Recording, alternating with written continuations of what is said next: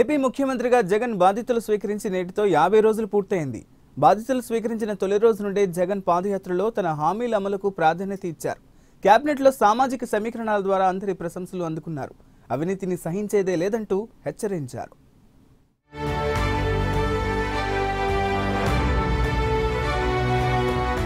ఆంధ్రప్రదేశ్ సీఎంగా వైఎస్ జగన్ యాభై రోజుల పాలన నేటితో పూర్తయింది. ఇక ఈ యాభై రోజుల్లో సీఎంగా జగన్ పలు కీలక నిర్ణయాలు తీసుకున్నారు. పోలవరం పైన దిశానిర్దేశం చేశారు. కేంద్రంతో తెలంగాణతో సత్సంబంధాలను కొనసాగిస్తూ సమస్యల పరిష్కారానికి కొత్త విధానం అమలు చేస్తున్నారు. ఇక రాజకీయంగా మాత్రం దూకుడు ప్రదర్శిస్తున్నారు.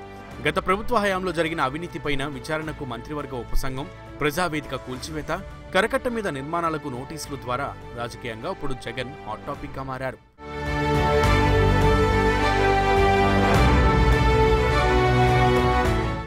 జగన్ తన మంత్రివర్గంలో అన్ని సామాజిక వర్గాలకు ప్రాధాన్యం ఇవ్వడంతో ప్రశంసలు అందుకున్నారు.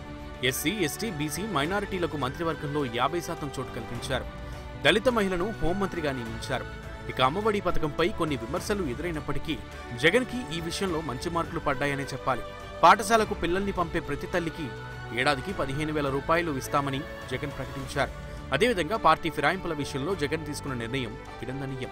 ఫిరాయింపులను ప్రోత్సహించనని ఒకవేళ ఇతర పార్టీ ఎమ్మెల్యేలు తమ పార్టీలోకి చేరాలనుకుంటే ఖచ్చితంగా రాజీనామా చేసి రావాల్సిందేనని అసెంబ్లీ సాక్షిగా ప్రకటించి ప్రశంసలు అందుకున్నారు.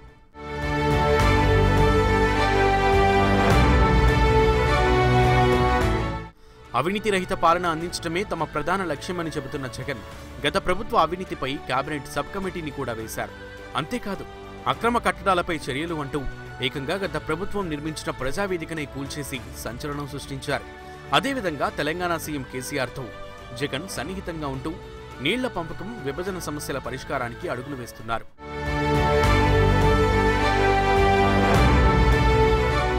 నవరత్నాలకు జగన్ పెద్దపీట వేశారు. అమ్మఒడి రైతు భరోసా పింఛన్ల పెంపు అంగన్వాడీ కార్యకర్తలు ఆశా వర్కర్లు యానిమేటర్ల జీతాల పెంపు వంటి అనేక కార్యక్రమాలు అమలు చేస్తూ గొప్ప నిర్ణయాలను తీసుకున్నారు. రాష్ట్ర ప్రభుత్వ ఉద్యోగులకు ఇరవై ఏడు శాతం అయ్యారు గ్రామ సెక్రటేరియట్ వాలంటీర్ల ఉద్యోగాలు భర్తీ వంటివి జగన్ మార్కు పాలనగా చెప్పుకోవాలి. కొత్త ఇసుక విధానం అంగన్వాడీ హోంగార్డుల జీతాల పెంపు పోలీసులకు వారాంతపు సెలవులు ఇవ్వడంతో జగన్ ప్రశంసలు అందుకున్నారు.